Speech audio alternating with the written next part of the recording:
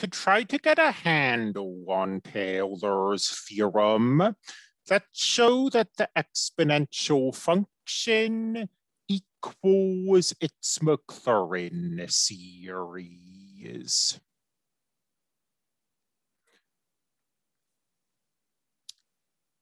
Taylor's theorem works on intervals. So we'll start by looking at the exponential function on a finite interval. The interval we've decided will be centered at zero. And this is the Maclaurin series. So the Taylor series is centered at zero as well. And what we want if the exponential function is to equal its Maclaurin series, is for the remainder to go to zero.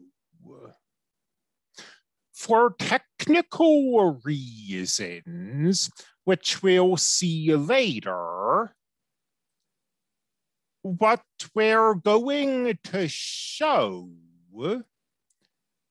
is that the absolute value of r sub n goes to zero. However, these are the same. The remainder goes to zero if and only if the absolute value of the remainder goes to zero. So showing this will show this. Let's remind ourselves of what the remainder looks like. For the exponential function to equal its Maclaurin series, this is what we need. Now, absolute values were 12 with quotients and products. That is to say, the absolute value of a product is the product of absolute values, and similarly for quotients. So we can rewrite this a little, like so. And let's consider this part of the expression. The n plus first derivative of e to the x is e to the x. The exponential function is increasing. So from negative k to positive k, positive k is where the exponential function takes on its greatest value. In particular, wherever this C is, it's somewhere between negative k and positive k, and e to the c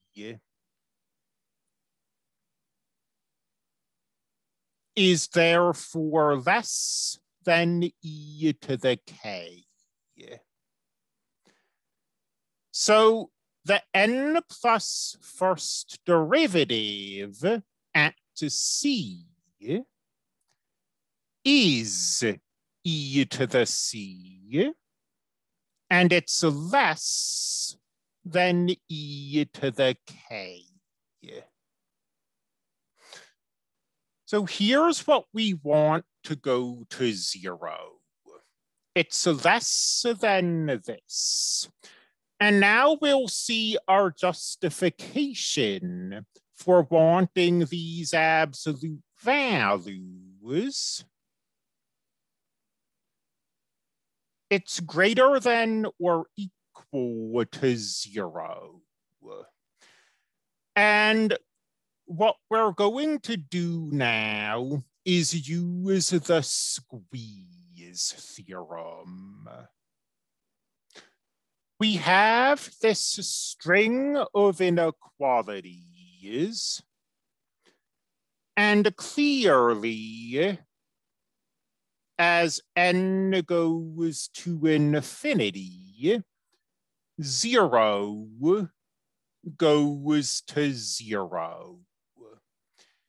If, as n goes to infinity, this also goes to zero, then the squeeze theorem says that this expression that's stuck between them must go to zero as well.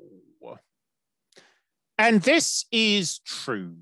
As n goes to infinity, this goes to zero for a fixed x. And that might not be immediately obvious, but I think we can convince ourselves that it's true. Let's look at some fixed x and some large n. Here's our numerator.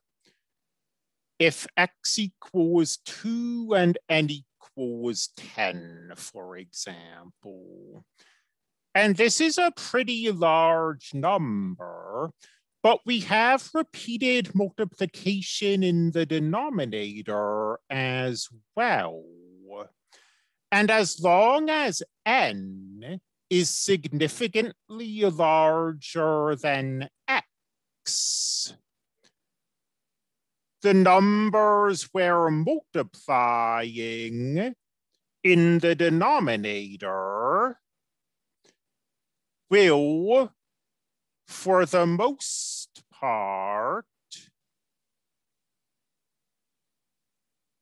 be significantly larger than the numbers we're multiplying in the numerator.